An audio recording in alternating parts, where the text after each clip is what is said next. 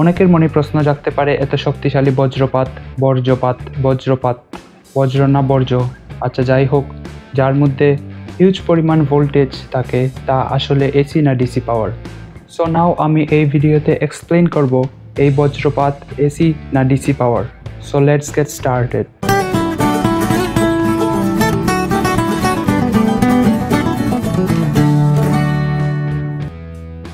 so first of all আমরা জেনে নিই কীভাবে এই লাইটনিং তৈরি হয়।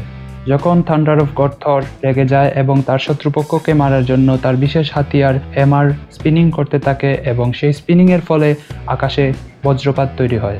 এই বজ্রপাত দিয়ে থেনসকে মারার চেষ্টা করেছিল কিন্তু থেনস মরে নাই, দুঃখের বিষয়। সরি সরি এটা আসলে রং এক্সপ্লেনেশন দিয়েছি আমি। এইটা আসলে আমি মুভি জগতের কীভাবে বজ্রপাত তৈরি হয় তার এক্সপ্লেনেশন দিয়ে দিয়েছি। অ্যাকচুয়ালি রিয়েল লাইফে এইভাবে বজ্রপাত তৈরি হয় না। রিয়েল লাইফে কোনো থর এক্সিস্ট করে না, কোনো থ্যানোস এক্সিস্ট করে না।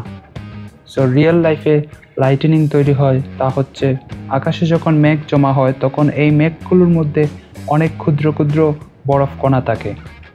এই বরফ কণাগুলো একে অপরের সাথে সংঘর্ষ হতে থাকে। এই সংঘর্ষের ফলে মেঘগুলোর মধ্যে ইলেকট্রিক চার্জ তৈরি হয়। এই ইলেকট্রিক চার্জ আবার দুই ধরনের, একটি পজিটিভ চার্জ এবং একটি নেগেটিভ চার্জ মেঘের উপরের অংশে পজিটিভ চার্জ এবং নিচের অংশে ভারী নেগেটিভ চার্জ জমা হয়। নেগেটিভ চার্জিত মেঘ তখন। নিউট্রাল হওয়ার জন্য পৃথিবীর গ্রাউন্ড থেকে পজিটিভ চার্জকে আকর্ষণ করে এবং এই পৃথিবীর পজিটিভ চার্জগুলো তাৎক্ষণিকভাবে নেগেটিভ চার্জ দ্বারা আকর্ষিত হয়ে মেঘে চলে যায়, যা আমরা লাইটেনিং অর্থাৎ বিদ্যুৎ চমকানো দেখতে পাই। এখন এই বজ্রপাত এসি না ডিসি তা জানার জন্য আমাদেরকে আগে এসি ও ডিসি কারেন্ট কি তা জানতে হবে।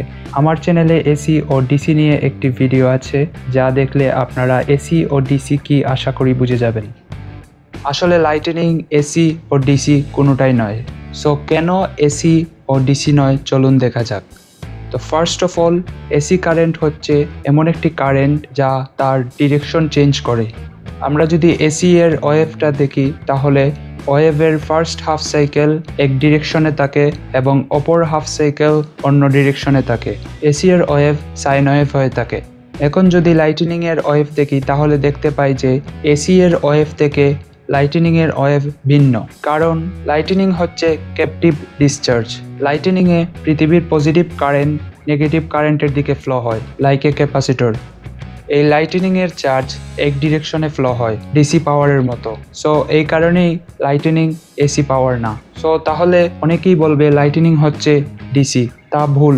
লাইটেনিং আবার ডিসিও নয়। কারণ একটি সিগন্যাল তখনই ডিসি হবে যখন তার রিপল ফ্যাক্টর থ্রি পার্সেন্ট থেকে কম হবে। কিন্তু লাইটেনিং এর রিপল ফ্যাক্টর থ্রি পার্সেন্ট থেকে অনেক বেশি। রিপল ফ্যাক্টর হচ্ছে যখন ডিসি তৈরি করা হয়, তখন ডিসিতে কিছু পরিমাণ এসি থেকে যায়, একে রিপল ফ্যাক্টর বলে।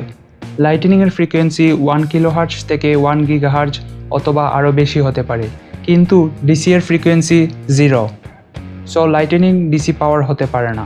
সো লাইটেনিং এসিও নয় অথবা ডিসিও নয়। তাহলে লাইটেনিং কি? লাইটেনিং হচ্ছে একটি ক্যাপটিভ ডিসচার্জ লাইটেনিংকে ইম্পালস কারেন্টও বলা হয়।